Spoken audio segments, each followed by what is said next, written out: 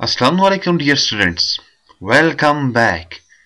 xpacademy.com जहाँ पर आप step by steps auto cat Urdu ज़ुबान में सीख रहे हैं स्टूडेंट्स आज के लेसन में मैं आपको ऑटो कैट्स के ऊपर यूनिट सेटअप्स के बारे में बताऊँगा यूनिट सेटअप्स क्या चीज़ है बेसिकली जब हम लोग अपने पास कोई लाइन ड्रॉ करते हैं तो हमें उसको किसी न किसी सिस्टम यूनिट सिस्टम के अंदर ड्रॉ करना होता है।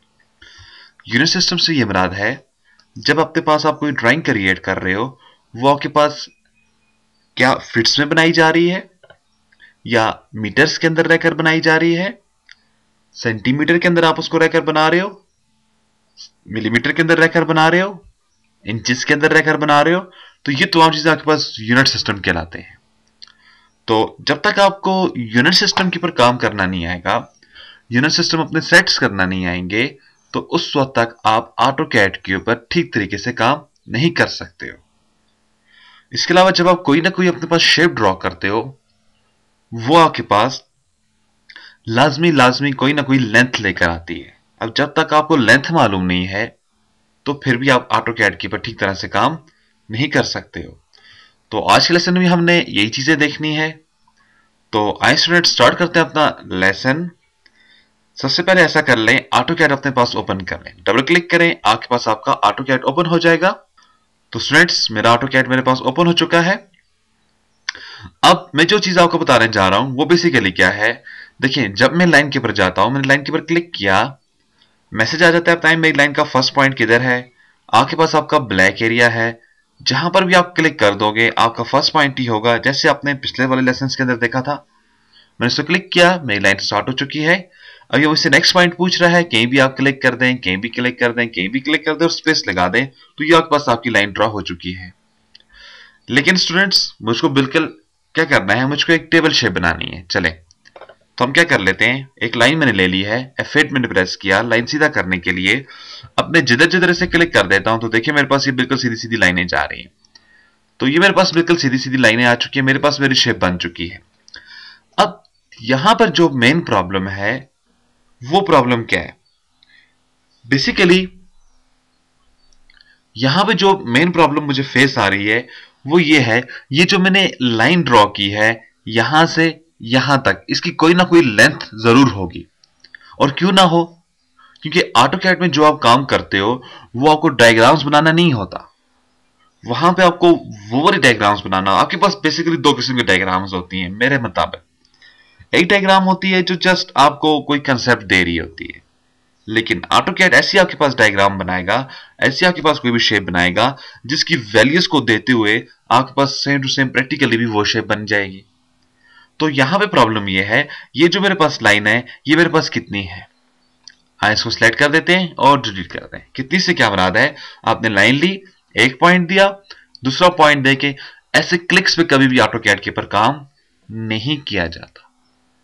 तो डियर स्टूडेंट्स जब भी आप ऑटो कैट्स के ऊपर काम करते हो, आपको यहाँ पे वैल्यू देनी होती है। अब स्टूडेंट्स की वैल्यू कैसे दी जाती है? मैंने लाइन को सिलेक्ट किया डिलीट कर देता हूँ। अगेन मैं लाइन कीपर चला गया, मैंने इसको क्लिक किया। फ़र्स्ट पॉइंट मांग रहा है कहीं भी मैं से क्लिक कर दूँगा। मेरा फ़र्स्ट पॉइंट मैंने इसको दे दिया। अब आप लाइन उस तरफ़ लेकर जाएँ, जिस तरफ़ अपना माउस उस तरफ़ लेकर जाएँ, जिस तरफ़ आपको लाइन लेकर जानी है। अप डाउन लेफ़्ट और राइट तो मैं राइट जाना पाऊँगा। लेकिन मैं ये कहता हूँ, यहाँ से मैंने क्लिक किया है, यहाँ से लेकर नेक्स्ट पॉइंट तक डियर स्टूडेंट्स मुझको जो वैल्यू चाहिए, वो चाहिए ट्वेल्व अब ट्वेल्व शायद इधर आता है, नहीं, शायद इधर है, नहीं, शायद इधर इधर इधर, कुछ कंफर्म नहीं है ट्वेल्व किधर है। तो आप क्या करेंगे, हमारे पास बहुत आसान तरीका है, अपने माउस को उस तरफ़ लेकर जाएँ, जिस तरफ़ आपको लाइन चाहिए, मुझको लाइन आगे ही जाना चाहिए, और जस्ट कीबोर्ड से वन और टू ट्वेल्व एंटर कर डालें। अब देखिए कीबोर्ड से मैं जैसे ही ट्वेल्व एंटर करूँगा, खुद ब खुद इधर टाइप हो जाएगा। आपको इधर क्लिक करने की कोई भी ऐसी ज़रूरत नहीं है। जस्ट आपको अपने माउस के साथ अपने लाइनों को दाएँ बाएँ करना है और वैल्यू टाइप कर दें। अब जिस तरफ़ आपका माउस होगा, यानी कि राइट तरफ़ है, जैसे मैं इसे एंटर कर दूँगा तो मेरे पास क्या होगा? ट्वेल्व पे जाकर एक कट्स पॉइंट्स बना हुआ आ जाएगा। अब देखिए, आपको कोई कट नज़र आ रहा है? नहीं। लाइन के ऊपर नीचे करें? हाँ। जैसे मैंने लाइन के ऊपर नीचे किया तो देखिए, मुझको दिखाई दे रहा है, मेरे पास यहाँ पर एक कट्स बना हुआ आ चुका है। तो देखा स्टूडेंट्स हम लोग ऐसे ड्रॉ करेंगे वैल्यूज़ को। वापस मैंने सिलेक्ट किया, इसको मैं डिलीट कर देता हूँ अगेन वापस में इधर आ जाता हूँ यहाँ पे। अपने पास, एक और मैं अपने पास इधर लाइन ड्रॉ कर देता हूँ। मैंने लाइन ली है, मैंने इसको पॉइंट दे दिया माउस आगे जानब लेकर आ गया। अब जो मुझे लाइन चाहिए वो कितनी चाहिए यहाँ पर? 24 चाहिए तो आप जस्ट 24 कीबोर्ड से टाइप करें और एंटर कर दें। अब जैसे मैंने 24 टाइप करके एंटर किया तो मेरे पास ये लाइन ड्रॉ होकर आ चुकी है 24 की। अगेन मैं माउस को नीचे की जानब ला रहा हूँ, फिर 24 टाइप कर देते हैं। तो नीचे की तरफ़ आकर 24 पे रुक जाएगा, जिधर भी आपका 24 आ रहा होगा। देखें आपके पास ये कट्स पॉइंट आ गया अगर आप मेरे माउस के ऊपर देखें बिल्कुल यहाँ इस जगह पे तो आपको कट्स पॉइंट नज़र आ रहा होगा। अगेन मैं माउस को इस तरफ़ लाया फिर मैंने 24 टाइप किया ऊपर की तरफ़ लेकर गया 24 टाइप किया। तो देखिए एंड तक ये मिल चुकी है और सेंटर कर दें। तो अब देखें ये स्टूडेंट्स मेरे पास एक बॉक्स बना हुआ आ गया इस बॉक्स की चारों तरफ़ वैल्यू कितनी है? 24, 24, 24, 24 तो ये होता है ऑटो कैट के अंदर डी स्टूडेंट्स हमेशा हमें वैल्यूज़ देनी होती हैं। तो जब हम वैल्यूज़ के ऊपर रहकर काम करेंगे, हमारा काम बिल्कुल परफेक्ट होता जाएगा। लेकिन लेकिन, यहाँ पर एक छोटी सी प्रॉब्लम है, जो शायद कि आपके माइंड के अंदर भी लाजमी गर्दिश कर रही होगी। वो प्रॉब्लम क्या है? ये जो मेरे पास 24 है, ये क्या चीज़ है?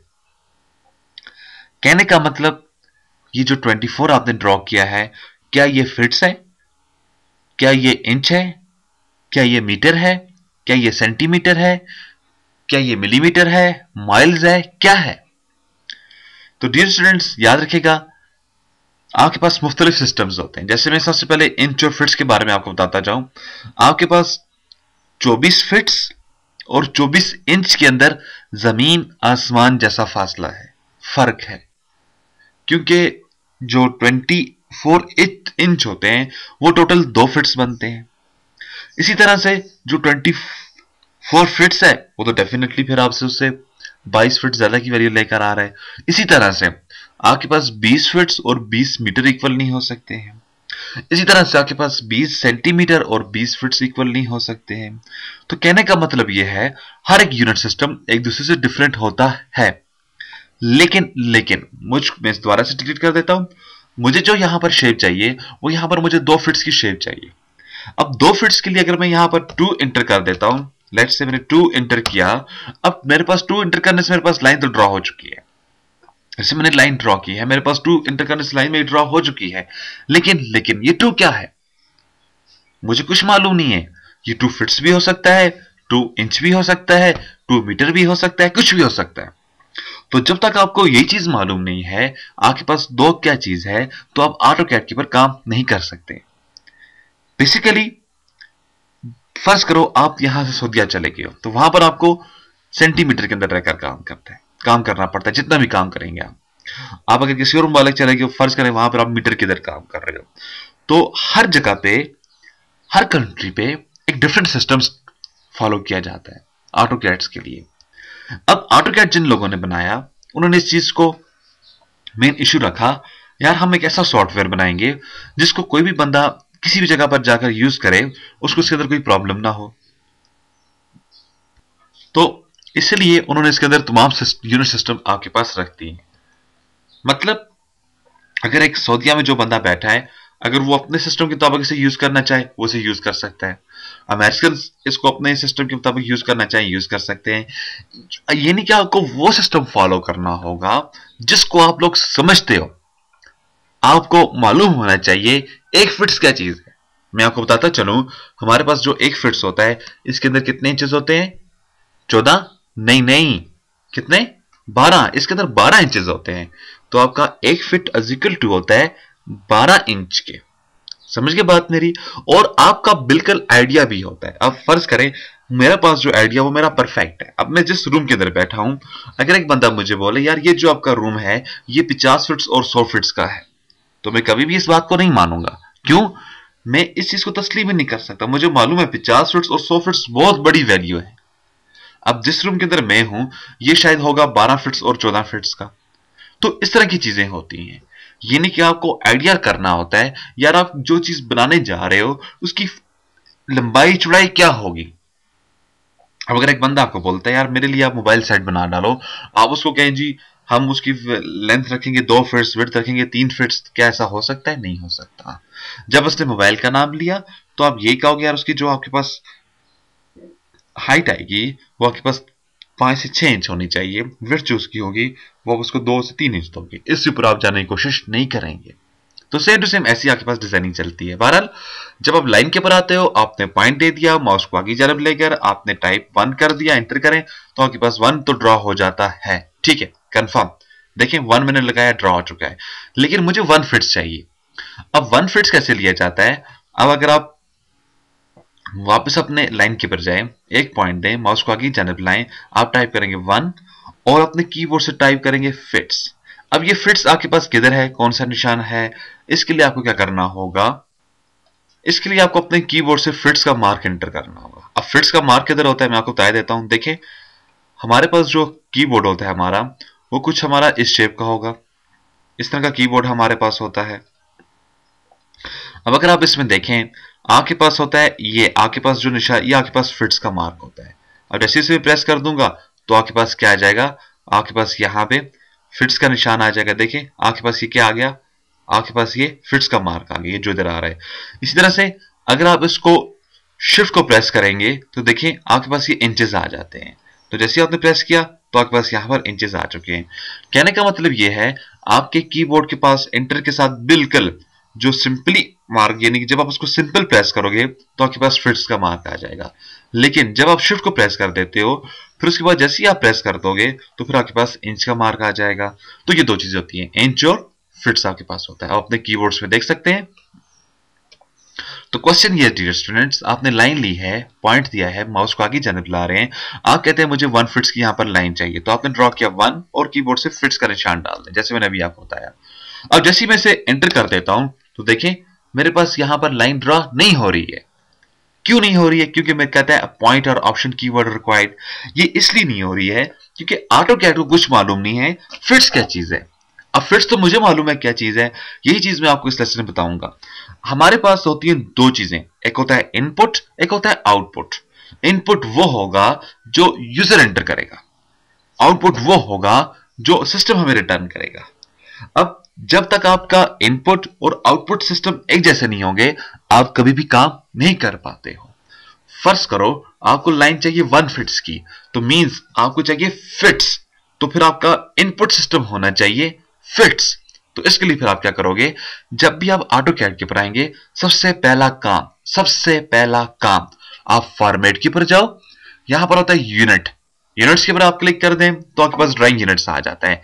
मींस जो आप ड्राइंग बनाने जा रहे हो, वो किस सिस्टम के अंदर होगी? उसके यूनिट्स क्या होंगे? तो मैंने क्लिक किया, मेरे पास देखें ड्रॉप डाउन आ चुका है मुख्तलि सिस्टम है मेरे पास। आहिस्ता आहिस्ता सबको डिस्कस करेंगे, लेकिन आज मैं जो उठाने जा रहा हूँ, वो क्या है? इंजीनियरिंग इससे पहले क्या था? डेसिमल डेसिमल में क्या होता है? डेसिमल में आ जाए, नीचे आ जाए, आपके पास zero zero point zero zero point zero zero zero point zero zero zero three zero four zero end में एट ज़ीरो तक चलता है। पॉइंट एट ज़ीरो तक आता है। लेकिन मुझे जो चीज़ चाहिए क्लिक करें। इंजीनियरिंग चाहिए। इंजीनियरिंग क्यों चाहिए? क्योंकि जैसे मैं इंजीनियरिंग लूँगा, यहाँ पे मेरे इंच और फिट्स आ जाएँगे। देखिए, मेरे पास फिट्स है इंच है। फिट्स इंच और उसके बाद पॉइंट के बाद, हम लोग जो अपनी ज़ुबान में कहते हैं, वो हम इसे सूत्र की वैल्यू कहते हैं।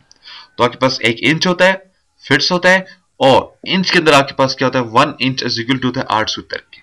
तो देखिए, आठ, सात छ पाँच, चार, तीन, दो, एक, कुछ भी नहीं।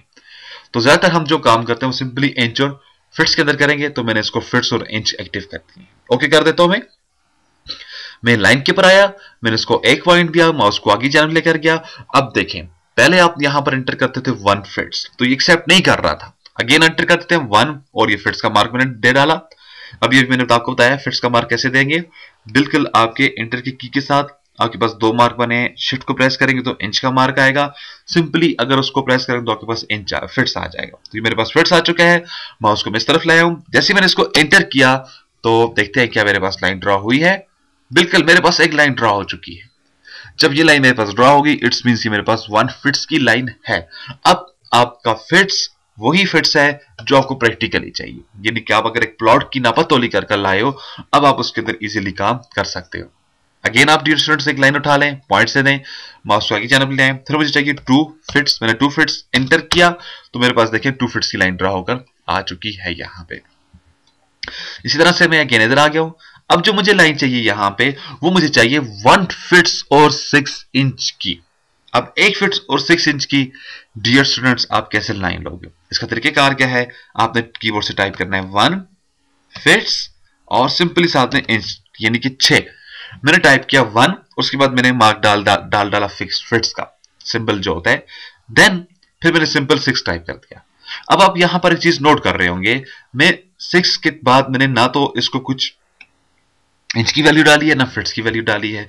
क्योंकि मेरा यूनिट सिस्टम जो है वो इंच और फिट्स है। अब उसमें दो ही वैल्यू है। या तो इंच की वैल्यू है, या तो फिट्स की वैल्यू है। अगर आप फिट्स का मार्क दे दोगे इट्स मीन आपके पास फिट्स की वैल्यू है। अगर आप इसके साथ कोई भी मार्क नहीं डाल देते हो इट्स मीन आपके पास क्या है? इंच है। बहरहाल, मैंने इसको दे दिया एक फिट और छह इंच जैसे मैं इसको एंटर कर देता हूँ तो ये मेरे पास एक फिट छह इंच की लाइन ड्रा हो जाएगी। अब यहाँ पे आपको ज़रूरी नहीं है कि आप इंच का निशान अपने पास लगाओ। एग्ज़ाम्पल एक और मैं दे देता हूँ आपको। अगर आप यहाँ पे लाइन एल इंटर करने से आप लाइन एक्टिव कर सकते हैं। एल इंटर कर दें आपके पास लाइन एक्टिव हो चुकी है। क्लिक करें माउस को आगे जानब ले मुझे लाइन चाहिए सिंपल सिक्स की। तो मैं देता हूँ सिक्स और इंटर कर देता हूँ। जब मैंने सिंपल सिक्स इंटर किया मीन्स इसके साथ ना तो कोई मैंने फिट्स का निशान दिया है, ना तो मैंने कोई इंच का निशान दिया है। लेकिन मेरा जो यूनिट सिस्टम है बेसिकली वो दो चीज़ों पे है। उसके अंदर एक इंच है और एक फिट्स है। जैसे मैंने छह इंटर किया इट्स मीन्स कि मेरे पास छह इंच की लाइन ड्रॉ हो चुकी इसी तरह से अगेन मैं लाइन के ऊपर आ जाऊँगा, एक पॉइंट देता हूँ। अब मुझे एक और लाइन चाहिए। फ़र्स्ट करें, एक बंदा आपको कहता है, यार, ऐसा करो 150 इंच की लाइन लगाओ। तो 105 फिट्स के लिए तो आप सिंपली ये ड्रॉ कर देते हो। लेकिन वो आपको कहता है, नहीं 150 इंच की। अब आप क्या सोचोगे, यार 150 इंच के अंदर कितने फिट्स होते हैं, कितने इंच होते हैं? नहीं तो आप सिंपली 150 इंटर कर दें। लेकिन मैं यहाँ पे 15 इंटर करूँगा। टारगेट आपका अचीव हो जाएगा, आप समझ जाएँगे। 15 से क्या मुराद है? एक फिट और तीन इंच यानी कि 12 इंच इक्वल टू होते हैं वन फिट्स के, और देन 12 13 14 15 तो तीन इंच साथ इसमें आ जाएँगे. मैं इसे एंटर कर देता हूँ. जैसे मैंने इसको एंटर किया, मेरे पास एक और लाइन ड्रा हो चुकी है. अब डियर स्टूडेंट्स क्या होता है? जब हम लोग प्रैक्टिकली काम कर रहे होते हैं बाय नेचर बाय नेचर जब फ़र्स्ट करें, आपने एक एक लाइन लगाई है दो फिट्स की. बाद में आप डेफिनेटली कंफर्म करना चाहोगे, आया यार, ये दो फिट्स की लाइन है कि नहीं है? एक बंदे ने आपको कहा, यार, यहाँ से यहाँ तक तीन फिट्स की लाइन लगाओ। अब आपको प्रैक्टिकली उसको कंफर्म करके बताना है। जब तक आप उसको कंफर्म करके नहीं बताएँगे, यार, ये एक फिट्स की लाइन है या नहीं, उसे कैसे यकीन होगा? वो कैसे समझ पाएगा, यार एक फिट्स की लाइन है या नहीं है? या फ़र्ज़ करो, आप खुद ही भूल चुके हो। ये जो मैंने लाइन लगाई थी, कितनी लगाई थी? मीन्स कि आपने ये लाइन कितनी लगाई थी? अब आप दोबारा से इसको कंफर्म करना चाह रहे हो। कंफर्म से क्या मराद है? आप दोबारा से इसकी डायमेंशन लेना चाह रहे हो। आप दोबारा से इसकी लंबाई चौड़ाई लेना चाह रहे हो, इसकी वैल्यू क्या है? तो उसके लिए फिर हम क्या करेंगे? इसकी डायमेंशन निकालेंगे। डायमेंशन निकालने का तरीकेकार क्या है? डायमेंशन आपके पास सिंपली एक पैमाना होता है। जैसे आपके पास आपका कोई स्केल वगैरह होगा, आपका कोई टूल वगैरह होगा, जिसके थ्रू आप नापा तोली करते हो तो सेम डायमेंशन भी ऑटो कैट के अंदर यही चीज़ है।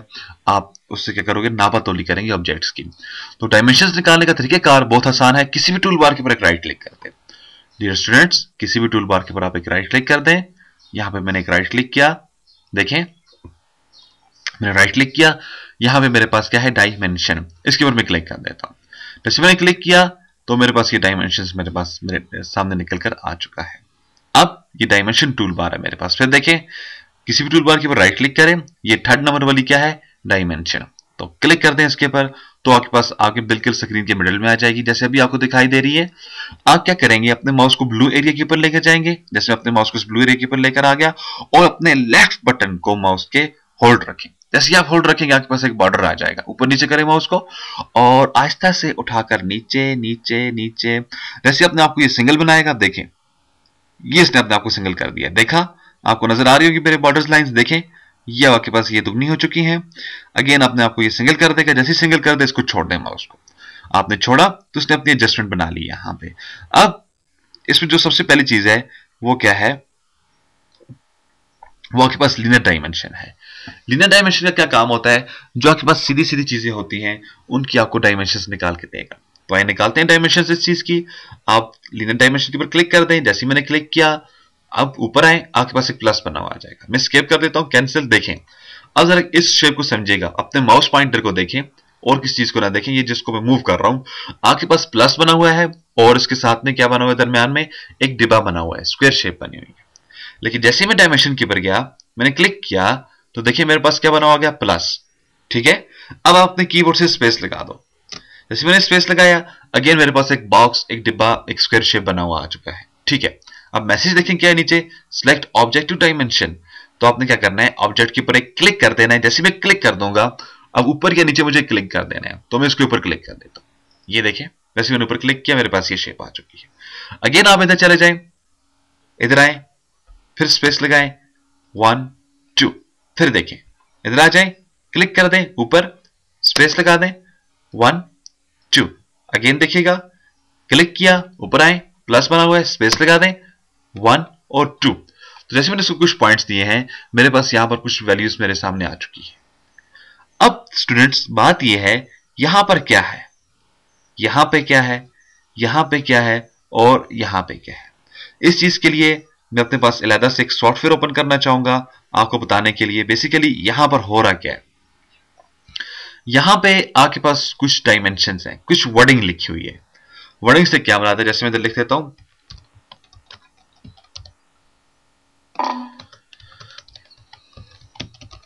xpacademy.com मैंने यहाँ पर टाइप कर दिया xpacademy.com अब क्यों स्टूडेंट्स आपको ये ठीक नज़र आ रहा है कि नहीं नज़र आ रहा? आपको ये बिल्कुल परफेक्ट दिखाई दे रहा है। परफेक्ट इसलिए दिखाई दे रहा है, इसका साइज़ कितना है? 100 मैंने यहाँ पर 100 टाइप कर दिया है। लेकिन अगर मैं इसका साइज़ यहाँ पर देता हूँ वन तो क्या आपको दिखाई दे रहा है? नहीं दिखाई दे रहा। आपके पास ये बिल्कुल छोटी छोटी छोटी छोटी कुछ शेप्स आ चुकी है। आगे इधर आकर आप टाइप कर देंगे 12 क्या दिखाई दे रहा है? कुछ दिखाई दे रहा है। अगेन इधर आ जाए, आप दे दें 24 अब बिल्कुल परफेक्ट दिखाई दे रहा है। तो ये चीज़ आपके पास इधर है। या आपके पास वर्ड होता है, या आपके पास कुछ आपने वर्ड लिखे होते हैं टेक्स्ट लिखा होता है, और उसका की फॉन्ट साइज़ होता है। जैसे जैसे आप फॉन्ट साइज़ छोटा या बड़ा करेंगे, वैसे वैसे शेप आपकी छोटी या बड़ी होती जाएगी। तो सेम यहाँ पर भी यही प्रॉब्लम है। यहाँ पर मेरे पास कुछ फॉन्ट लिखा हुआ है वर्डिंग लिखी हुई है। अब ये मुझको दिखाई नहीं दे रही है। उस वक्त दिखाई देगी जब मैं इसका ये साइज़ बड़ा करूँगा फॉन्ट साइज़ अब मसला ये है ऑटो कैड के अंदर फॉन्ट साइज़ कैसे बड़ा किया जाता है? तो फॉन्ट साइज़ को बड़ा करने के लिए आपको एक कमांड टाइप कर देनी है। आप देखिए माउस मेरा ऊपर की जानब है। मैं जैसी टाइपिंग करूँगा ऑटोमेटिकली टाइपिंग मेरी यहाँ पर स्टार्ट हो जाएगी। देखिएगा, मैंने टाइप किया डी आई एम तो कमांड क्या है? आपको किसी भी फॉन्ट को बड़ा करने के लिए dim S C A L E dim scale D I M dim scale S C A L E scale. अब जैसे मैं कमांड के अंदर डिम स्केल टाइप करने के बाद एंटर कर दूँगा, मेरे पास एक मैसेज आ जाएगा। मैसेज क्या है? कहता है enter new value for dim scale dim scale के लिए नई वैल्यू एंटर करें। अब ब्रैकेट्स के अंदर आ जाए। ब्रैकेट के अंदर दो वर्ड लिखे। एक लिखा हुआ है फिट्स दूसरा लिखा हुआ है इंच यानी कि यहाँ पे मुझको ये बता रहा है, मेरा जो पुराना साइज़ था वो कितना था? सिक्स सॉरी वो मेरे पास कितना था? वन। तो वन मुझको ठीक तरह से दिखाई नहीं दे पा रहा यहाँ पे। देखें मैं ठीक तरह से इसको नहीं देख रहा। सेम इसी कंडीशन यही कंडीशन है। आप यहाँ पर क्या वन को देख पा रहे हैं? नहीं देख पा रहे हैं। बिल्कुल नहीं देख सकते हैं यहाँ पे वन को। देखिए, मैंने वन एंटर किया तो आप वन को नहीं देख सकते हैं। लेकिन, जैसे मैं ट्वेल्व एंटर कर देता हूँ, आप इसको देख सकते हो। तो आए यहाँ पर ट्वेल्व एंटर कर देते हैं। ट्वेल्व एंटर किया तो स्टिल मैं यहाँ पर किसी को देख नहीं पाया। वापस पीछे अब, इन प्रोग्राम में ऐसा होता है अगर मैं अब साइज़ बढ़ा दे दूँ तो क्या कोई आपको चेंजिंग नज़र आएगी? नहीं।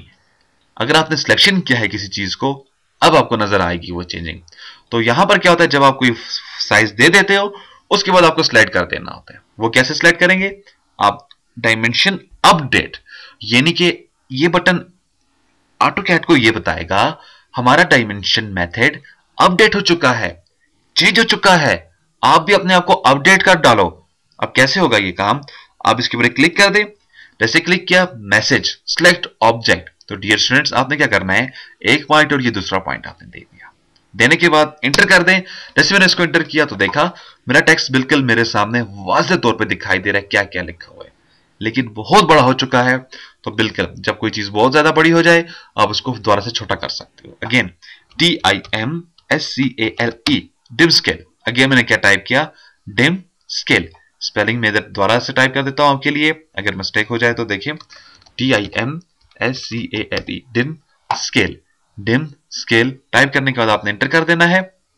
मैंने इसको एंटर किया, मैं अब पहले मेरे पास साइज़ था वन फिट्स यानी कि 12 से क्या बना होती है? वन फिट्स अब वन फिट साइज़ बड़ा आपको दिखाई नहीं दे रहा तो वन से छोटे का साइज़ देते हैं? यानी कि मैं इसको देता हूँ सिक्स इंच सिंपली तो अगेन अपडेट के ऊपर आ जाए। तो आप इसको सिलेक्ट कर दें एंटर कर दें। तो देखा, जैसे मैंने सिक्स दिया तो मेरे सामने तुम्हारी तमाम चीज़ें आ चुकी हैं। D I M S C L dim scale मैं इसको साइज़ देता हूँ फोर वापस में अपडेट के ऊपर आ गया। मैंने दो चीज़ें सिलेक्ट की हैं और एंटर कर दिया। तो देखें साइज़ मेरा और छोटा हो चुका है। तो इसी तरह से डिम स्केल देने से आपके पास आपका ये जो फॉन्ट साइज़ है, छोटा या बड़ा हो जाएगा। लेकिन डियर स्टूडेंट्स यहाँ पर प्रॉब्लम ये है, मैंने यहाँ पर लाइन डाली थी कितनी? वन फिट्स की। तो यहाँ पर ऊपर क्या मेरे पास मैसेज आ रहा है? Twelve point zero zero zero zero sorry मैं इसको अंडरस्टैंड नहीं कर पाया ये क्या चीज़ है। इस तरह से twenty four point zero zero sorry sorry sorry मुझे कुछ मालूम नहीं है ये क्या चीज़ें हैं। क्योंकि मैंने यहाँ पर टाइप किया था छ इंच यहाँ पर मैंने टाइप किया था वन फिट और सिक्स इंच यहाँ पर मैंने टाइप किया था टू फिट्स अगेन मैंने यहाँ पर टाइप किया था वन फिट्स तो ये दो चीज़ें जिसके मतलब मैं आपको कह रहा था शुरू में, हमारे पास दो चीज़ें होती हैं। एक हमारे पास होता है इनपुट एक होता है आउटपुट तो डियर स्टूडेंट्स जो आपके पास आपका इनपुट हो, वही आपके पास आपका आउटपुट भी होना चाहिए। बिल्कुल। यानी कि अगर मैं आपके पास आपके साथ उर्दू में बातचीत कर रहा हूँ तो मस्ट है, आप भी मुझे उसका आंसर उर्दू में ही दो। गोया, ऐसा ना हो कि मैं आपसे उर्दू में बातचीत करूँ, आप मुझे उसका रिप्लाई लेट से बंगाली ज़ुबान में दे रहे हो लेट से आप मुझे इंडिया, अपना हिंदी ज़ुबान में दे रहे हो, चाइनीज़ में दे रहे हो तो उसको मैं समझ नहीं पाऊँगा।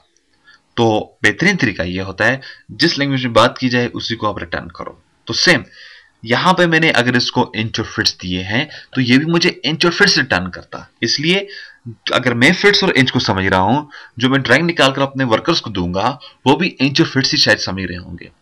तो इसलिए डियर स्टूडेंट्स हमारे पास दो चीज़ें होती हैं, एक होता है इनपुट एक होता है आउटपुट तो जो आपका इनपुट होना चाहिए डियर स्टूडेंट्स वही आपका आउटपुट भी होना चाहिए। बिल्कुल। तो इसके लिए आप क्या करेंगे? आप फॉर्मेट के ऊपर जाएँ। आपके पास है डायमेंशन स्टाइल दो चीज़ें होती हैं बेसिकली एक होता है यूनिट यूनिट क्या था? इंजीनियरिंग फिट्स और इंच ये इनपुट टाइप थी। ओके देन आपने फॉर्मेट के इधर गए आपके पास आता है डायमेंशन स्टाइल डायमेंशन स्टाइल के इधर चले जाए? तो आपके पास है मॉडिफाइड मॉडिफाइड में देखें, आपके पास क्या है यहाँ पे? अगेन इधर आ जाए। आप बाय डिफ़ॉल्ट लाइन के इधर आएँगे? हमें किधर जाना होगा? टेक्स के ऊपर जाना होगा। सॉरी प्राइमरी पैरामीटर्स के अंदर यूनिट्स के अंदर जाना होगा। सॉरी प्राइमरी पैरामीटर यूनिट्स के ऊपर आ जाएँ और यहाँ पे यूनिट्स फॉर्मेट्स के अंदर चले जाएँ और उसे कहते हैं engineering feets range okay close again कुछ भी चेंजिंग नहीं हुई है। चेंजिंग हो चुकी है। इधर आए, वापस क्लिक करें स्पेस लगाएँ, एक पॉइंट और दूसरा पॉइंट देखा स्टूडेंट्स यहाँ पर मैंने टाइप किया था पंद्रह इंच तो पंद्रह इंच मैंने आपको पहले बता दिया था। पंद्रह इंच से क्या मिला था एक फिट्स और तीन इंच तो ये रिटर्न हो गया। अगेन अपडेट के ऊपर आए तमाम चीज़ों को सिलेक्ट कर डालें तमाम चीज़ें आपके पास सिलेक्ट हो चुकी हैं और जस्ट एंटर कर दें अपने कीबोर्ड से। जैसे मैंने इसको एंटर किया तो देखा one feets two feets one feet six inch six inch और two feet one feet two three inch तो ये मुझको तमाम मेरी वैल्यू परफेक्ट रिटर्न करके दे रहा है। अब एटोकैट को पता चल गया, यार हमारा इनपुट और आउटपुट यूनिट सिस्टम जो है, वो क्या है? इंच और फिट्स है। अब अगर यहाँ पर मैं एक और लाइन ले लेता हूँ लेट से फाइव फिट्स मैंने फाइव फिट्स की लाइन लगा डाली, इधर आ जाता हूँ स्पेस लगा दिया, एक पॉइंट और दूसरा point D I M S C L E मुझे ठीक नज़र नहीं आ रहा डिव स्केल मैंने टाइप किया, और मैं देता हूँ इसे एट अगेन मैं अपडेट का चूज़ करूँगा सिलेक्ट और एंटर कर दें, ठीक नज़र नज़र फिर भी नहीं आया dim scale D I M S C L E मैंने इसको टाइप कर दिया वन फेट्स अपडेट एंटर कर दिया। तो देखें, मेरे पास ये चीज़ें मेरी नज़र आ चुकी हैं। तो डियर स्टूडेंट्स बेसिकली ये चीज़ होती है, जब भी आप ऑटो कैड के ऊपर आओगे, सबसे पहला काम आपको क्या करना होगा, अपने इंच फिट सेट करने होंगे। कैसे? देखिएगा। एक मतलब फिर रिपीट कर देता हूँ। लेट से हमारी ये फ़र्स्ट ड्राइंग है। मैंने जैसे ऑटो कैट ओपन किया, सबसे पहला काम फॉर्मेट के अंदर जाऊँगा। यूनिट सिस्टम्स और इंजीनियरिंग फिट्स रेंज ओके फिर कंफर्म कर लें formats dimension style modified engineering फिर range okay close line point F8 line सीधी है माउस को आगे line one two feet type किया एंटर कर दें. Dimension space one two dim scale मैंने टाइप किया दी D I M S E L E dim scale मैं देता हूँ वन फेट्स का अपडेट के अंदर गया? सिलेक्ट और इंटर करते हैं। तो देखा स्टूडेंट्स ये बेसिकली हमारा हर मरतबा रेगुलर काम है। अब यहाँ पे हमने क्या सीखा? अपने यूनिट्स बनाना हमने सीखे हैं। जब हमें अपने यूनिट्स बनाना आ जाएँगे तो हम इजीली ऑटो कैड के ऊपर काम कर लेंगे। लेकिन जब तक हमें यूनिट्स बनाने नहीं आएँगे तो हम अपने ऑटो कैड्स के ऊपर काम नहीं कर सकते हैं। तो डियर स्टूडेंट्स ये तो था हमारा आज का लेसन जिसमें हमने देखा हम अपने यूनिट सेटअप्स कैसे करते हैं। तो प्लीज़ इसी तरह से स्टूडेंट्स हम आहिस्ता आहिस्ता से आगे कंटिन्यू चलते जाएँगे, आहिस्ता आहिस्ता आहिस्ता से। ज़रूरत सिर्फ़ इस बात की है, आपको साथ साथ प्रैक्टिस करनी है। ऐसा ना हो स्टूडेंट्स आप ऑटो कैड को सीखने की खुशी में, जज्बाती में, एक ही दिन सारे लेसन लेकर बैठ जाएँ। मैं आपको यही मशर दूँगा, आप स्टेप बाय स्टेप्स एक एक लेसन रोज़ाना की बेस पे या दो लेसन रोज़ाना की बेस पे, इससे ऊपर ना जाएँ आप। क्योंकि जब आपको दो लेसन आपने लिए एक लेसन लिया उसकी आपने प्रैक्टिस की जब वो आपको समझ आएगा तो फिर आप आगे आसानी से चल पाएँगे। तो स्टूडेंट्स ये था हमारा आज का लेसन तो मजीद मालूम के लिए और या अपडेट के लिए प्लीज़ विज़िट कर सकते हैं हम आप, हम, आप हमारी वेबसाइट www.xpacademy.com xpacademy.com जहाँ पर तमाम कंप्यूटर कोर्सेज आपको फ्री ऑनलाइन करवाए जाते हैं बगैर किसी फ़ीस के। एंड में जब आपका कोई कोर्स कंप्लीट हो जाएगा, आपसे एक टेस्ट लेने के बाद हम लोग आपको एक सर्टिफिकेट भी इशू करते हैं, जिसकी हॉट कॉपी बजरिया टीसीएस आपके बताए हुए ड्रेस के मुताबिक आपको भेज दी जाती है। इसके अलावा, अगर आपको इन वीडियोस की मास्टर कॉपी चाहिए तो आप हमें कॉल कर सकते हैं, या आप हमें किसी भी वक्त आपको कोई भी प्रॉब्लम है, आप हमें ईमेल कर सकते हैं। इसके लिए हमारा एड्रेस है XP academy at the rate of Y mail dot com या आप हमें हमारी हेल्पलाइन पे किसी वक्त कॉल कर सकते हैं। Zero three four three nine zero one seven seven seven nine अपना ख्याल रखिएगा, अपनी दुआ में हमें याद रखिएगा। इनशाला नेक्स्ट लेसन में फिर हाजिर होते हैं। उस वक्त तक के लिए आपसे इजाज़त चाहेंगे। अल्लाह हाफिज। अस्सलाम वालेकुम